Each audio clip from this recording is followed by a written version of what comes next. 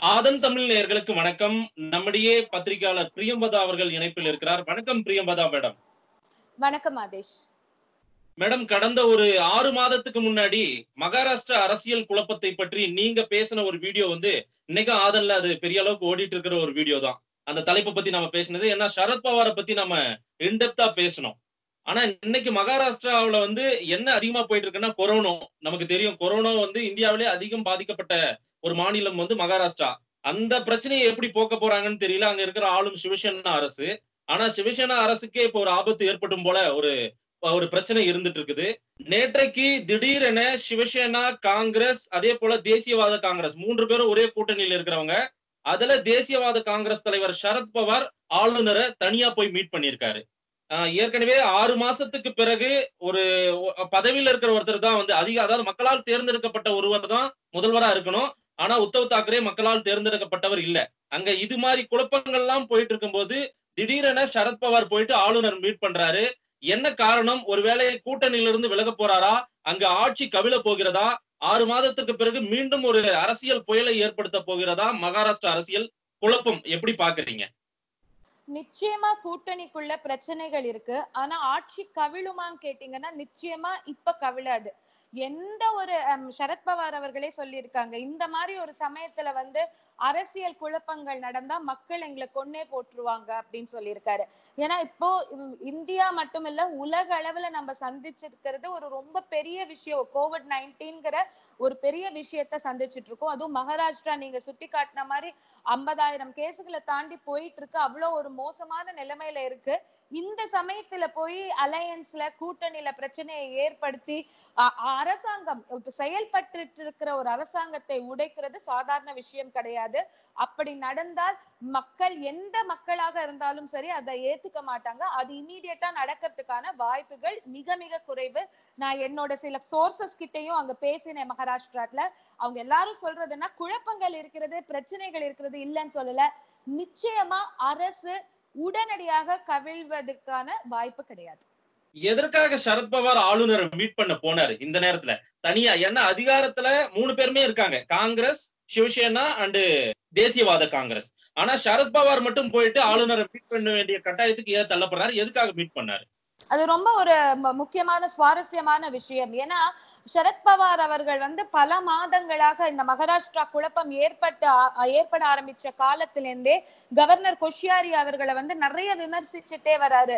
நீங்க ரொம்ப தலையிடுறீங்க அரசாங்கத்துல நீங்க மகாராஷ்டிராவையே நீங்க தான் ரன் பண்ணணும்னு நினைக்கிறீங்க அப்படின்னு ஒரு ஹீட்டட் அவருக்கு எதிரான ஸ்டேட்மெண்ட்ஸை கொடுக்குறாரு. ஆனா எல்லா எந்த ஒரு எதுவுமே இல்லாம திடீர்னு இந்த கோவிட் நைன்டீன் சமயத்துல எழுபது வயசை தாண்டிய சரத்பவார் அவர்கள் போய் கவர்னரை சந்திக்கிறாருங்கிறதுனாலதான் எல்லாரும் அதை திரும்பி பாக்குறாங்க எதுக்காக இவர் திடீர்னு இந்த மாதிரி ஒரு சமயத்துல போய் சந்திக்கிறாரு அப்படின்னு? இதுக்கு ரெண்டு காரணம் சொல்லப்படுகிறது. ஒண்ணு வந்து இப்ப வந்து உத்தவ் தாக்கரே வந்து கிட்டத்தட்ட அந்த அரசாங்கத்தை ஃபுல்லா அவர் எடுத்து நடத்தல. நீங்க பாத்தீங்கன்னா பல விஷயங்கள்ல வந்து அவருக்கு ஒரு கைட் பண்றது வந்து சரத்பவார் தான். நிறைய பேர் சொல்றாங்க சரத்பவார் தான் டிஃபாக்டோ சீஃப் மினிஸ்டர் அங்க நடந்துட்டு இருக்காரு. ஏன்னா பல முக்கியமான விஷயங்களை எடுக்கிறாரு. முடிவுகளை எடுக்கிறதுக்கு உதவி செய்யறாரு மினிஸ்டர்ஸ் முக்கியமாக அரசாங்க அதிகாரிகள் ஐஏஎஸ் அதிகாரிகளோட கோஆர்டினேட் பண்றது ஷவரத் பவார் தான் பண்றாருங்கிறது தான் வந்து நம்மளுக்கு கிடைக்கிற ஒரு தகவலா இருக்கு. முக்கால்வாசி மினிஸ்டர்ஸ் வந்து மந்த்ராலயா அதாவது செக்ரட்டேரியட்ட மந்த்ராலயான்னு அவங்க சொல்லுவாங்க. அங்க முக்கால்வாசி மினிஸ்டர்ஸ் வர வரவே இல்லை. எல்லாரும் அவங்கவுங்க ஹோம் டவுன்ல இருக்காங்க. ஆனா சரத்பவார் சொல்லிட்டு இருக்காரு உத்தவ் தாக்கரே இது சரி கிடையாது. எல்லாரும் போய் மந்த்ராலயால உட்கார்ந்துட்டு தான் வேலை செய்யணும். ஏன்னா உத்தவ் தாக்கராவே வந்து மாதோஸ்ரீ அவருடைய வீட்டுலதான் உட்கார்ந்து வீடியோ கால் மூலியமா தான் செயல்படுறதா நிறைய குற்றச்சாட்டுகள்லாம் வருது. ஆனா நம்ம சரத்பவார் அப்படி இல்லாம எல்லாரோடையும் சந்திச்சு மீட் பண்ணி கிட்டத்தட்ட அவர் தான் ரன் பண்றாரு. சோ இப்ப நிறைய விமர்சனங்கள் ஏற்ப ஏற்பட ஆரம்பிச்சிருக்கு. கவர்மெண்ட் வந்து சரியா ஹேண்டில் பண்ண மாட்டேங்குது கோவிட் சுச்சுவேஷன் மகாராஷ்டிராலன்னு. அத பத்தி டிஸ்கஸ் பண்றதுக்கு ஆக்சுவலா கவர்னர் வந்து உத்தவ் தாக்கரேவை கூப்பிட்டு இருந்தாரு போன வாரம். ஆனா உத்தவ் தாக்கரே போகல. அவரோட செக்ரட்டரி அமுச்சு விட்டாரு கவர்னரை மீட் பண்றதுக்கு. அதுக்கப்புறம் தான் அவர் சரத்பவாரை கூப்பிட்டிருக்காரு. சரத்பவார் நேர்லயே போயிருக்காரு. இது ஒரு காரணம். இன்னொரு. முக்கியமான காரணமும் இருக்கு. அதாவது இப்போ மகாராஷ்டிரால கூடிய சீக்கிரம் அப்பர் கவுன்சில்னு சொல்லுவாங்க. அதுல நாமினேட் பண்ணுவாங்க. மெம்பர்ஸ வந்து நாமினேட் பண்ணுவாங்க. அதுல பன்னெண்டு பேரை வந்து அந்தந்த கட்சிகள் வந்து இந்த கலை உலகத்தை சார்ந்தவங்க எழுத்தாளர்கள் அவங்கவுங்க கட்சியை சார்ந்தவங்களை நாமினேட் பண்ணுவாங்க. எல்லா கட்சிகளுமே வந்து தங்களுடைய கட்சியை சேர்ந்தவங்களை தான் நாமினேட் பண்ணணும்னு ரொம்ப மும்முரமா இருப்பாங்க. மேலவை மேலவை உறுப்பினர்களுக்கு. சோ அதனால அதுக்கு ஒரு புஷ் கொடுக்கறதுக்காக போகலாம். கடந்த சில வாரங்களாகவே பாத்தீங்கன்னா மதேஷ் சரத்பவார் சரத் பவார் தேசியவாத காங்கிரஸ் வந்து ஓரளவுக்கு பிஜேபியை நோக்கி போறதாங்கிற ஒரு சந்தேகம் நிறைய மக்களுக்கு மக்களுக்கு ஏற்பட ஏற்பட்டுட்டு தான் இருக்கு. ஏன்னா நான் சொன்ன மாதிரி உத்தவ் தாக்கரே ஸ்ட்ரெயிட்டா கவர்மெண்ட் கிட்ட இருந்து எந்த இதுவும் கேட்கறது இல்ல சரத்பவார் தான் பிரைம் மினிஸ்டர்கிட்ட கேக்குறாரு. எங்களோட மைக்ரண்ட் லேபரர்ஸ்க்கு ட்ரெயின் எக்ஸ்ட்ரா விடுங்க. எங்க மைக்ரண்ட் லேபரர்ஸ்க்கு ஹெல்ப் பண்ணுங்க. மகாராஷ்டிராக்கு இன்னும் நிறைய பினான்சியல் பேக்கேஜ் கொடுங்க. நிறைய பணம் ஒதுக்கிடுங்க. இங்கதான் நாங்க நிறைய பாதிப்படைஞ்சிருக்கோம்னு அஹ், ஒரு முதலமைச்சர் கேட்க வேண்டிய கேள்விகள் உதவிகளை வந்து மத்திய அரசிடமிருந்து சரத்பவார் தான் கேட்டுட்டு இருக்காரு. அதே மாதிரி தேசியவாத காங்கிரஸ்ல ஒரு முக்கியமான ஆள் வந்து பிரஃபுல் பட்டேல். அவர் வந்து ஒரு ட்வீட் போடுறாரு பியூஷ் கோயல் ரயில்வே மினிஸ்டர் நல்லா வேலை செய்யறாரு எங்களுடைய மைக்ரண்ட் லேபரர்ஸ்க்கு எல்லாம் ட்ரெயின் கரெக்டா அமுச்சு விடுறாருன்னு. ஆனா அன்னைக்குதான் வந்து அஹ், உத்தவ் தாக்கரே வந்து பியூஷ் கோயலையோ ம- மத்திய அரசாங்கத்தை தாக்கி தாக்கி பேசுறாரு. எங்களுக்கு சரியா வேலை செய்யலன்னு. அன்னைக்கே வந்து பிரஃபுல் பட்டேல் இப்படி ஒரு கான்ட்ரடிக்டரி ஸ்டேட்மெண்ட் கொடுக்கறாரு. அதனாலதான் மக்களுக்கு ஒரு நிறைய சந்தேகம் ஏற்பட்டு விட்டது. என்னடா குழப்பம் இருக்கான்னு. இதுக்கு நடுவுல காங்கிரஸும் சொல்லிட்டாங்க. எங்களுக்கும் இதுக்கும் சம்பந்தமே இல்லைன்னு கை கழுவி விட்டாங்க அவங்க. இந்த குழப்பங்கள் இருந்தாலுமே உடனடியாக இந்த கூட்டணி ஆஹ், கூட்டணியில் பெரிசாக விரிசல் ஏற்பட்டு எந்த ஒரு எந்த ஒரு வி- விதமான பெரிய மாற்றம் ஏற்படாதுங்கிறது மாத்திரம் நான் உறுதியா சொல்லுவேன். இவ்வளவு உள்முரண் இருக்கு. ஏன்னா வந்து அஹ், உத்தவ் தாக்கரே விட அனுபவம் வாய்ந்தவர் சரத்பவார் சரத்பவார் தான் பின்னிருந்து இயக்குகிறார் இந்த அரசை அப்படின்னு பலர் பேசுறாங்கன்னு நீங்களே பதிவிடுறீங்க. அப்படின்னா இந்த மாதிரி செயல்பாடுகள் ஆளுநர் முதல்ல உத்தவ் தாக்கரேவை தான் அழைச்சிருக்காரு. ஆனா அவர் போல அவரோட செக்ரட்டரி அனுப்பி விட்டுருக்காரு. அதற்கு பிறகு சரத்பவார் கூப்பிட்டதுமே சரத்பவார் போய் மீட் பண்ணியிருக்காரு. அதே போல மத்திய அரசிடம் எல்லாத்தையும் கேட்டு பெறுவது தேசியவாத காங்கிரஸா இருக்கு. ஆனா ஆளும் சிவசேனா இந்த விஷயம் எல்லாம் பண்றது அப்ப சரத்பவாருக்கே பிடிக்கல. இப்ப வந்து சிவசேனா பண்ற விஷயத்த சரத்பவாரால ஏத்துக்க முடியல. அப்படி எடுத்துக்க முடியுமா? ஏத்துக்க முடியலன்னா அதுல ஒரு டிஃபரன்ஸ் இருக்குன்னு நம்ம சொல்லலாம். ஏன்னா சரத்பவார் என்ன சொல்றாருன்னா ஒரு பினான்சியல் கேபிட்டலா இருக்கு ஒரு நாட்டுக்கு மும்பை வந்து எல்லா விதமான வர்த்தகத்துக்கும் எல்லா விதமான பண விஷயங்களுக்கும் ஒரு முக்கியமான இடம். நீங்க லாக்டவுன் எக்ஸ்டெண்ட் பண்ணிட்டே போகாதீங்க. கொஞ்சம் சீக்கிரம் ஓபன் பண்ணுங்க. இந்த மாதிரி சில கருத்து வேறுபாடுகள் இருக்கு. சில விஷயங்களை புஷ் பண்றாரு. நான் சொன்ன மாதிரி எல்லா மினிஸ்டர்ஸும் ஆபீசர்ஸும் மந்த்ராலயம்ங்கிற செக்ரட்டேரியட்ல வந்து உட்கார்ந்து வேலை செய்யுங்க. வீட்ல இருந்தோ அல்ல வேற அவங்க வேற இடத்துல இருந்தோ இதுல வீடியோ கான்பரன்சிங் மூலியமா செயல்பட்டா இது சரி வராது. மக்களுக்கு உங்க மேல நம்பிக்கை வரணும்னா நீங்க எல்லாம் இறங்கி களத்துல இறங்கி வேலை செய்யணுங்கிற மாதிரி சொல்றாரு. ஒரு அதிருப்தி இருக்குங்கிறத நம்மளால மறுக்க முடியாது. நிச்சயமா மேடம் இந்த அதிருப்தியோட ஒரு அரசு எத்தனை நாளைக்கு இந்த கூட்டணி ஓடும்? ஏன்னா ஆறு மாசம் தான் முடிஞ்சிருக்கு. இது இந்த மாதிரி ஒரு அதிருப்தியோட எப்படி பயணிக்கும்? மக்கள் கிட்ட கெட்ட பேர் வந்துரும்னு சரத்பவாரும் நினைக்கிறாரு காங்கிரஸும் நினைக்குது சிவசேனாவும் நினைக்குது அப்படின்னு வச்சுக்கிட்டா கூட ரொம்ப நாளைக்கு அந்த வண்டி ஓடாது இல்ல அந்த வண்டி ஓடுறது டவுட் தான். பட் ஆனாலும் இப்ப கோவிட் இருக்கிறதுனால நிச்சயமாக ஒரு ஒரு வருடமாக ஆகும் வச்சுக்கோங்களேன். இதுல இருந்து நம்ம எல்லாரும் மீண்டு வரத்துக்கு அதுவும் மகாராஷ்டிரா மாதிரி ஒரு மாநிலம் ரொம்ப பாதிக்கப்பட்டிருக்கும் ஒரு மாநிலம் மீண்டு வரத்துக்கு நிச்சயமா ஒரு வருடம் ஆகும். அந்த ஒரு வருடம் வர வரை- வரையுமாவது அரசாங்கத்தை அரசியல் காரணங்களுக்காக இவங்க யாருமே தகர்த்த மாட்டாங்கிறது தான் எனக்கு கிடைக்கிற செய்தி. ஏன்னா அங்க இருக்கிற நான் சில சோர்சஸ்ட பேசினேன் ஜேர்னலிஸ்ட பேசினேன். எல்லாரும் சொல்ற ஒரே விஷயம் இவ்வளோ ஒரு உயிர உயிரா சாவாங்கிற போராட்டத்துல மக்கள் இருக்கும்போது ஒரு அரசியல்ல வந்து அவ்வளவு தீவிரமா செய்ய முடியாது. ஆனா நிச்சயமாக இந்த சமயத்துல கொரோனா இல்லாம இருக்கு கோவிட் நைன்டீன் இல்லாம இருக்குன்னா நிச்சயமா ஒரு பெரிய ஒரு நாடகத்தை நம்ம பார்த்திருக்கலாம் மகாராஷ்டிரால. ஆனா இப்ப இது இருக்கிறதுனால இதை தள்ளி வச்சிருக்காங்கன்னு வேணா நான் சொல்லுவேன். இல்ல இதுல இன்னொரு விஷயமும் சொல்றாங்க. பாஜக வந்து இந்த விஷயத்துல இந்த மாதிரி முரண்கள் இருக்கிற சமயத்துல ஆபரேஷன் கமலான்னு ஒண்ணு ஆரம்பிச்சிட்டாங்க. அவங்கதான் இப்ப வந்து தேசியவாத காங்கிரஸ் எப்படியாவது உடைச்சு தேசியவாத காங்கிரஸ் பிஜேபி நாம இணைந்து ஆட்சி செய்யலாம் அப்படின்ற ஒரு முடிவுக்கு வந்திருக்கிறதா சொல்றாங்களே.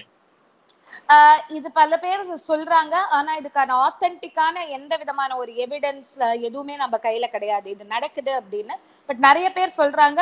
இதுக்கு ஒரு முக்கியமான காரணம் கூட இருக்கு. நான் சொன்ன மாதிரி பிரஃபுல் பட்டேல் வந்து மத்திய அரசை பிரைஸ் பண்ணி பேசுறதாக இருக்கட்டும். இல்ல இவ்வளவு தாக்கின கவர்னர் ஆளுநரை போய் சரத்பவார் அவர்கள் சந்திச்சதாக இருக்கட்டும். ஒரு விதமா மாற்றங்கள் ஏற்பட்டிருக்கு. அவங்க ரெண்டு பேரோட உறவுலங்கிற மாதிரி எல்லாருமே சென்ஸ் பண்றாங்க. அதுல எந்த விதமான மாற்று கருத்தும் இல்ல. ஆனா இது எல்லாமே கூட அதே மாதிரி பத்னவிஸ் பாஜக தலைவர் வந்து சொல்லியிருக்காரு உடனே பிரசிடென்ட் ரூல் கொண்டு வரணும் மகாராஷ்டிரால. ஏன்னா இந்த கோவிட் நைன்டீனை வந்து உத்தவ் தாக்கரே அரசாங்கம் சரியாகவே கையாளவில்லை அப்படின்னு அவர் சொல்லி இருக்கிறாரு அவர் அந்த மாதிரி ஒரு அழுத்தத்தை கொடுக்கிறாரு. ஆனா இது எதுவுமே இப்ப நடக்காதுங்கிறத சரத்பவார் வந்து சொல்லியிருக்காரு. சரத்பவார் எப்பவுமே நான் முன்னாடியே சொன்ன மாதிரி நல்ல ஒரு அஹ், கை தேர்ந்த ஒரு அரசியல்வாதி ஸ்டேட்ஸ்மேன் கூட அவரை சொல்லலாம். அவருக்கு தெரியுது என்ன செய்யணும்? மக்களால் இந்த சமயத்துல மக்களுக்கு கஷ்டத்தையோ பிரச்சனையோ கொடுக்கிற எந்த விஷயத்தையும் செய்யக்கூடாதுங்கிறதுல அவர் தெளிவா இருக்கிறதுனாலதான் இது எல்லாத்தையுமே அவங்க ஓரளவுக்கு அட்ஜஸ்ட் பண்ணி இந்த அரசாங்கத்தை நடத்துவாங்க. ஏன்னா இந்த சமயத்துல போய் கூட்டணி மாறி வேற ஒரு முதலமைச்சர் பதவி ஏற்கிறது வேற திரும்பவும் ஐஏஎஸ் ஆபீசர்ஸ் எல்லாத்தையும் மாத்துறது இதெல்லாம் ரொம்ப ஒரு பிரச்சனைக்குரிய விஷயம் உணர்ந்ததுனாலதான் அவர் அதுல பட்டுக்க மாட்டாரு. அது வந்து சரத்பவாருக்கே கூட ரொம்ப கெட்ட பேரை ஏற்படுத்தலாம். ஆனா அவங்க ரெண்டு பேருக்குமான நான் சொல்ற மாதிரி இந்த ஒரு வருடம் காலம் இருக்கு இல்லையா இந்த ஒரு வருடத்துக்கு பிறகு என்ன வேணா நடக்கலாம். அதுக்கு நடுவுல வந்து தேசியவாத காங்கிரசுக்கும் பாஜகவுக்குமான உறவு வந்து இன்னும் மேம்படலாம். அந்த மாதிரி மேம்பட்டு போச்சுன்னா ஆஹ், நிச்சயமாக கூட்டணிகள் மாறிடும். ஏன்னா இன்னும் முழுமையா அஞ்சு வருஷம் இருக்கு மகாராஷ்டிரா அரசுக்கு. இப்பதானே எலெக்ஷன் முடிஞ்சிருக்கு. சோ அந்த ஒரு வருடம் கழித்து இந்த சைடு அந்த போட் போகுதாங்கிறத நம்ம பாக்கணும் இதுல காங்கிரஸோட ரோல் என்னவா இருக்கு மேடம் ஏன்னா அவங்களும் கூட்டணியில் இருக்காங்க. இந்த ஆளும் கட்சி இன்னைக்கு ஆண்டு கொண்டு இருக்கிற உத்தவ் தாக்கரேவுக்கு ஒரு ஒரு பகுதியா ஆதரவு கொடுத்தது காங்கிரஸ். அவங்களோட ரோல் என்னவா இருந்துட்டு இருக்கு அங்க? இல்ல எனக்கு தெரிஞ்சு டே ஒன்ல இருந்து காங்கிரஸ் வந்து இந்த கூட்டணியில பட்டும் படாம தான் இருக்காங்க. ஏன்னா காங்கிரஸுக்கும் ஆஹ், சிவசேனாவுக்குமான ஐடியாலஜிஸ் வந்து அந்த கருத்துக்கள் அவ்வளவு வெவ்வேறு கருத்துக்கள். முன்னாடி நான் சொன்ன பேட்டியில கூட சொல்லியிருந்தேன். இந்த கூட்டணி வந்து ஒரு பெரிய அதிசய கூட்டணி. ஏன்னா காங்கிரஸும் சிவசேனாவும் ஒரே வீட்டுக்குள்ள இருக்கிறது அவ்வளவு ஒரு கஷ்டமான விஷயம். அவங்க பட்டும் படாம தான் இருக்காங்க. அவங்க இந்த கூட்டணி ஒத்துக்கிட்டதுக்கு ஒரே ரெண்டே காரணம். ஒண்ணு சரத்பவார் கொடுத்த அழுத்தம் சரத்பவாருடைய அவங்க தேசியவாத காங்கிரஸோட அவங்க இருக்கணுங்கிற ஒரு இது அந்த லோக்கல் லீடர்ஸ் கொடுத்த அழுத்தம் ஒண்ணு. இன்னொன்னு வந்து பாஜக திரும்பவும் வந்துடக்கூடாது இன்னொரு மாநிலத்தை பாஜக கையில எடுத்துடக்கூடாதுங்கிறதுக்காக தான் கொடுத்தாங்க. ஆனா அவங்க தெளிவா இருக்காங்க. முதல் நாள்ல இருந்தே அவங்க அரசாங்கத்துல பெரிய விஷ் விதமா பார்ட்டிசிபேட் பண்றது கிடையாது. இருக்காங்க ஆனா பெரிய டெசிஷன்ஸ் எதுக்குமே அவங்க போறது கிடையாது. இப்ப ராகுல் காந்தி தெளிவா சொல்லிட்டாரு. நாங்க சப்போர்ட் தாங்க பண்றோம். நாங்க அதுக்கு மேல எந்த ஒரு டெசிஷனும் எடுக்கல. ஏன்னா இந்த கோவிட சரியா கையாளலங்கிற ஒரு விமர்சனம் வரும்போது இப்ப காங்கிரஸ் வந்து மத்த ஸ்டேட்ஸ்லயும் பாஜகவையும் விமர்சனம் செஞ்சுட்டு இருக்கு இல்லையா? நீங்க வந்து மைக்ரண்ட் லேபரர்ஸ் விஷயத்த வந்து சரியா கையாளலன்னு. அப்ப வந்து கேக்குறாங்க நீங்க நீங்க ஆழ்ந்துட்டு இருக்கிற மகாராஷ்டிராவிலயும் இது சரியா கையாளப்படலைன்னு சொல்றாங்க நாங்க ஆளல அப்படிங்கறத அவர் தெளிவா சொல்றாரு. நாங்க சப்போர்ட் தான் பண்றோம் நாங்க. அந்த கூட்டணிக்கு எல்லாத்துக்குமே பொறுப்பு வந்து தேசியவாத காங்கிரஸும் சிவசேனாங்கிறதுல தெளிவா இருக்காங்க. சோ எந்த சமயத்திலுமே காங்கிரஸ் விட்டுட்டு ஓடிடணும் விட்டுடலாம் அப்படின்னா விட்டுடுவாங்க அவங்க. இப்ப சதைக்கு பாஜக வராம தடுக்கிறதுக்காக தான் அந்த கூட்டணியோட இருக்காங்க. பட் இது சூழ்நிலைகள் மாறிச்சுன்னா நிச்சயமா காங்கிரஸ் வந்து இதுக்கான பழியை ஏத்துக்க போறது கிடையாது மகாராஷ்டிரா. ஏற்கனவே சிவசேனா பாஜகவோட நெருக்கமா இருந்தவங்க. ஏ அவங்களுடைய சாயம் தான் அவங்களுடைய சித்தாந்தம் தான் அவங்களுடைய கொள்கை தான் அதே போல கா- பாஜகவை இன்றைக்கு பாராட்டி கொண்டு இருக்கிறார்கள் தேசியவாத காங்கிரஸ். சரத்பவார் அன்கோ வந்து முழுமையா பாராட்டிட்டு இருக்காங்க. நாளைக்கு ஒருவேளை காங்கிரஸை கழட்டி விட்டு சிவசேனா தேசியவாத காங்கிரஸ் பாஜக மூன்று பேரும் சேர்ந்து ஆட்சி செய்யும் நிலை மகாராஷ்டிராவில் ஏற்படுமா? வாய்ப்பு இருக்கா? எவ்வளவோ நாடகங்கள் நாடகங்களை சந்தித்து இருக்கிறது. இந்திய அரசியல் காட்சிகள் எப்படியோ மாறி இருக்கு. யாருமே எதிர்பார்க்கல காங்கிரஸ் சிவசேனா அண்ட் தேசியவாத காங்கிரஸ் ஒண்ணு சேருவாங்க. அவங்களே ஒண்ணு சேர்ந்திருக்காங்க. அப்படி இருக்கும்போது ஏற்கனவே நீங்க சொன்ன மாதிரி சிவசேனாவும் பாஜகவும் மொத்த கருத்து இருக்கக்கூடியவங்க. அவங்க ரெண்டு பேரும் திரும்பவும் ஒண்ணு சேர்ந்தாங்கன்னா ஆச்சரியப்பட மாட்டேன் நான். நிச்சயமா இதற்கான எல்லா வாய்ப்புகளும் இருக்கு. ஆனா இப்போ உடனடியாக இதெல்லாம் நடக்குமான்னு கேட்டா இல்ல. கொரோனா இல்லாம இருந்திருந்தா இந்த மாதிரி நீங்க சொல்ற எல்லா ஸ்பெகுலேஷன்ஸும் நடக்கிறதுக்கான பல வாய்ப்புகள் இருக்கு. அதுக்கான எல்லா சயின்ஸும் அறிகுறிகளும் இருக்கு. ஆனா இப்ப கொரோனா இருக்கிறதுனால இதெல்லாம் உடனடியாக நடக்க வாய்ப்பு இல்லை மேடம் அஜித் பவார் ஏற்கனவே பாஜக பட்னாவிஸ் முதல்வராக வந்து ஆதரவு கொடுத்தவர். அதற்கு பிறகு குடும்பத்தையே பிரிச்சுட்டாங்கன்னு வாட்ஸ்அப் ஸ்டேட்டஸ் எல்லாம் நம்ம பார்த்தோம். அதையெல்லாம் பத்தி எல்லாம் பேசியிருந்தோம். ஆனா அதற்கு பிறகு மீண்டும் இணைந்து இப்ப வந்து சிவசேனா உத்தவ் தாக்கரே முதல்வரா இருக்காரு. மீண்டும் பாஜகவை நெருங்குகிறதா? ஒருவேளை தேசியவாத காங்கிரஸ். அது என்ன பிடிச்சிருச்சு இந்த ஆறு மாசத்துல பாஜகவின் செயல்பாடு அவங்களுக்கு? இல்ல இல்ல. நீங்க திரும்ப திரும்ப ஒரே கேள்வியை தான் வெவ்வேறு மாதிரி கேக்குறீங்கிறது எனக்கு தெளிவா புரியுது. ஒண்ணு வந்து நிச்சயமா வந்து பாஜக அழுத்தம் கொடுத்துட்டே இருக்கு. முதல் முறை இந்த பிரச்சனை ஆறு மாசத்துக்கு முன்னாடி நடக்கும் போதே பாஜக வந்து அஹ், தேசியவாத காங்கிரஸை தன் பக்கம் இழுக்க ஒரு முயற்சி இன்டைரக்டா பண்ணாங்க. சிவசேனா வரமாட்டாங்க வழிக்குன்னு தெரியும் போது முயற்சி பண்ணாங்க. ஆனா அந்த அதுதான் அந்த அஜித் பவார் நாடகம் எல்லாம் நம்ம எல்லாம் சந்திச்சோம். ஆனா அப்புறம் வந்து சரத்பவார் உறுதியா இருந்ததுனால காங்கிரஸ் அண்ட் சிவசேனாவை தன் பக்கம் கொண்டு வந்து அவர் ஆட்சியை அமைச்சுக்கிட்டாரு. ஏன்னா பாஜக வந்து பாஜக கிட்ட போயிட்டோம்னா நம்ம கட்சியே உடைச்சிருவாங்க அப்படிங்கிற ஒரு அச்சம் வந்து சரத்பவாருக்கு அந்த சமயத்துல இருந்தது. அதே மாதிரி ஒரு அச்சம் இப்பவும் சரத்பவாருக்கு இருக்கும். அதனால எடுத்தேன் கவுத்தேன் அப்படிங்கிற ஒரு முடிவை வந்து சரத்பவார் எடுக்க மாட்டாரு. போன தடவை நான் சொன்னதுதான். சின்ன சின்ன ரீஜனல் பார்ட்டிஸ வந்து பாஜகவுடன் கூட்டணி சேர்ந்தா அதை உடைச்சிருவாங்க அப்படிங்கிற ஒரு அச்சம் சின்ன சின்ன ரீஜனல் கட்சிகளுக்கு எல்லாம் இருக்குங்கிற ஒரு பயம் இருக்கு. மாதேஷ் என்ன பொறுத்த வரைக்கும் பாஜக வந்து மகாராஷ்டிராவை திரும்ப கைப்பற்றணுங்கிறதுல உறுதியா இருக்காங்கங்கிறதுல எந்த மாற்று கருத்தும் கிடையாது. பாஜக வந்து மகாராஷ்டிராவை திரும்பவும் கைப்பற்றணுங்கிறதுல உறுதியா இருக்காங்கிறதுல எந்த மாற்று கருத்தும் கிடையாது. அஹ் கொஞ்ச நாளைக்கு முன்னாடி கூட பாஜக தலைவர் தேவேந்திர பட்னவிஸ் சொல்றாரு இங்க பிரசிடென்ட் ரூல கொண்டு வாங்க. உத்தவ் தாக்கரே சரியாக இந்த கோவிட் விஷயத்தை வந்து கையாளவில்லை அப்படின்னு சொல்றாங்க. அதை தவிர்த்து இந்த ஆறு மாசத்துக்கு முன்னாடியே கூட முதல் முதல்ல மகாராஷ்டிராவில் இந்த நாடகங்கள் நடக்கும்போது ஆஹ் ஆஹ் சரத்பவாரை வந்து தன் பக்கம் இழுப்பதற்கான எல்லா முயற்சிகளையும் வந்து பாஜக செஞ்சது. ஆனா அந்த சமயத்துல சரத்பவார் மாதிரி ஒரு அரசியல்வாதி என்ன யோசிச்சார்னா பாஜக எந்தெந்த மாநிலங்கள்ல போய் சின்ன சின்ன அந்த மாநில கட்சிகளை கையெடுக்கும் போது அதோட கூட்டணி சேரும் போது அந்த கட்சிகளை உடைத்து விடும். கடைசியாக பாஜகங்கிற ஒரு கட்சியை தான் நிலைநிறுத்தும்ங்கிற ஒரு அச்சம் இருந்தது சரத்பவாருக்கு அதனாலதான் அவர் அதுக்கு ஒத்துக்காம தேசியவாத காங்கிரஸ் வந்து காங்கிரஸ் அண்ட் சிவசேனா கூட்டணி இவ்வளவு பெரிய கருத்து வேறுபாடுகள் இருந்தாலும் எப்படியோ அந்த கூட்டணியை கொண்டு வந்து அமைச்சாரு. ஆனா கடந்த ஆறு மாத காலமாகவே பாத்தீங்கன்னா பாஜக த- தன்னால முடிஞ்ச அளவுக்கு வ- செஞ்சுட்டு தான் இருக்காங்க. தன் பக்கம் சரத்பவாரை கொண்டு வர முடியுமாங்கிறது. இன்னொரு முறை இன்னொரு புறம் பாத்தீங்கன்னா உத்தவ் தாக்கரே செயல்பாடுகள் அவர் அரசாங்கம் நடத்தும் விதங்கள் விதத்தை வந்து சரத்பவார் வந்து அவ்வளவு அப்ரிஷியேட் பண்ணல. அதுல அவருக்கு ஒரு சின்ன அதிருப்தி இருக்கதான் செய்யுது. ஆனாலுமே வந்து இது சமயம் அல்ல. உடனடியாக இந்த முடிவுகளை எடுப்பது சரியில்லைங்கிறதையும் நல்லா உணர்ந்த ஒரு அரசியல்வாதி தான் சரத்பவார் அதனாலதான் சொல்றாரு இந்த சமயத்துல போய் நான் அரசியல் பேசினா இந்த மாதிரி கூட்டணி இருந்து நான் வெளியில வந்தா மக்கள் என்னை கொன்னே போட்டுருவாங்கப்பா அப்படின்னு அவரே சொல்றாரு. அதனால எதுவா இருந்தாலும் இப்ப அவர் முடிவெடுக்க வாய்ப்பில்லை. ஆனா ஆறு மாசமோ அல்ல ஒரு வருடம் கழித்து இந்த கொரோனா தாக்கம்லாம் எல்லாம் அஹ், கொஞ்சம் குவைட் ஆனதுக்கு அப்புறம் வேற சில பிரச்சனைகள் வந்ததுன்னா நான் ஆச்சரியப்பட மாட்டேன்.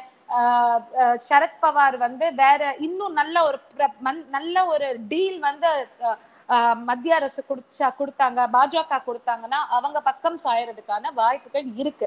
உடனடியா இருக்குன்னா நிச்சயமாக இல்லைன்னு நான் நிச்சயமா இமீடியட்டா நிச்சயமா அதுக்கு எந்த ஒரு பாதிப்பும் இந்த அரசாங்கத்துக்கு ஏற்படாது. ஆனா இந்த மாதிரி கூட்டணிகள் மாறுவதும் ஏன்னா நான் சொன்ன மாதிரி யாருமே எதிர்பாராத காங்கிரஸ் சிவசேனா தேசியவாத காங்கிரஸே ஒண்ணு சேரும்போது ஏன் சிவசேனாவும் பாஜகவும் ஏற்கனவே ஒத்த கருத்து இருக்கிறவங்க அவங்க ஏன் திரும்பவும் ஒண்ணு சேரக்கூடாது? அதுல ஏன் தேசியவாத காங்கிரஸும் வரக்கூடாதுங்கிற கேள்விகள் நிச்சயமா இருக்கும். ஆனா உடனடியாக நடக்க வாய்ப்பில்லை. முழுமையாக ஐந்து வருடம் ஆட்சியை நடத்த மாட்டார் உத்தவ் தாக்கரே. அது மட்டும் நடக்கும் அப்படின்னு நீங்க சொல்றீங்களா? எப்படி? அவர் முழுமையான ஆட்சியை கம்ப்ளீட் பண்ண முடியாது அப்படின்னு சொல்ல வரீங்க. ஆஹ் முழுமையான ஆட்சியை வந்து உத்தவ் தாக்கரே கம்ப்ளீட் பண்றது இந்த கோவிட் நைன்டீன் அவர் எப்படி கையாளுறாருங்கிறத பொறுத்து இருக்கு. இன்னும் ஒரு ஆறு மாசத்துக்கு வந்து உண்மையா சொல்லணும்னா எல்லாரும் மகாராஷ்டிராவை அப்படி குத்தம் சொல்லிட முடியாது. அது வந்து ஒரு ஃப்ளோட்டிங் பாப்புலேஷன் இருக்கக்கூடிய ஒரு மாநிலம். மத்த மாநிலங்களை கம்பேர் பண்ணும்போது மகாராஷ்டிரா ரொம்ப வித்தியாசப்பட்ட மாநிலமாக இருக்கு. மக்கள் வந்துட்டு போறாங்க. நிறைய மைக்ரண்ட் லேபரர்ஸ் இருக்கக்கூடிய இடம். நிறைய மக்கள் இப்போ இருக்காங்க. மக்கள் ஜனத்தொகை நிறைய இருக்கக்கூடிய ஒரு மாநிலம். இவ்வளவு பிரச்சனைகள் இருக்கக்கூடிய ஒரு மாநிலத்தை வந்து அஹ், இப்ப ஆறு மாசமே ஆன அரசாங்கம் கையில எடுத்து விடுகிடன் வேலை செஞ்சு பெரிய மாற்றங்களை ஏற்படுத்துறது கஷ்டம்தான். ஆனா இந்த ஒரு டெஸ்ட்ல வந்து கட வரப்போற ஆறு மாசத்துல உத்தவ் தாக்கரே நல்ல வேலை செஞ்சுட்டாரு. மக்கள் மத்தியில அவருக்கு ஒரு நல்ல பேர் கிடைச்சிருச்சு. அப்படின்னா ஆஹ் நிச்சயமா வந்து சரத்பவாரும் இந்த கூட்டணியை உடைக்கணுங்கிற எண்ணத்துக்கு வர மாட்டாரு ஆனா நிறைய சொதல் சொதப்பல்கள் இருக்கு. நிறைய பிரச்சனைகள் இருக்கு இந்த அரசாங்கத்துல இன்னும் ஆறு மாசத்துல. அப்படின்னா இந்த அவரு முதலமைச்சரா கண்டினியூ ஆகுறது டவுட்டா தான் இருக்கும். கோவிட் நைன்டீன் போற வரையில இந்த ஆட்சி வந்து தாங்கும் அப்படின்னு நீங்க சொல்றீங்க. அதற்கு பிறகு அரசியல் சூழ்நிலையில என்ன வேணாலும் நடக்கலாம். மகாராஷ்டிரா அரசியல் சூழ்நிலையில பரபரப்புக்கு இன்னும் ஆறு மாசம் இல்ல இன்னும் ஒரு வருஷம் இல்ல பஞ்சமே இருக்காது. நிறைய விஷயங்கள் நடக்கும்னு நிறைய துணுக்குகள் கொடுத்திருக்கீங்க. பார்க்கலாம் என்ன நடக்குது இணைப்பில் வந்து நிறைய விஷயங்கள் பேசியிருக்கீங்க. நன்றி பிரியமதா மேடம். நன்றி மாதேஷ்.